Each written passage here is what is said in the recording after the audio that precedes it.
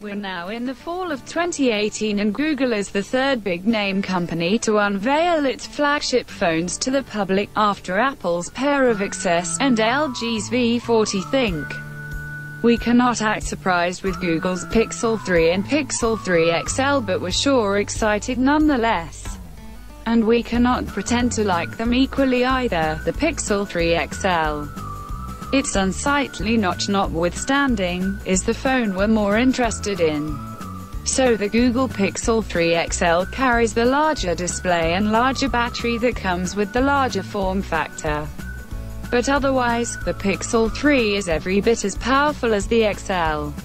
It packs the same Snapdragon 845 chipset, the same cameras, the same Android experience, and the same speakers and wireless charging.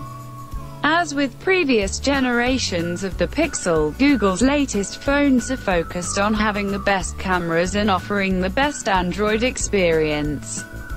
The first agenda will mostly fall to Google's excellent HDR Plus algorithm and perfectly tuned software as Google has retained the single rear camera of its predecessor.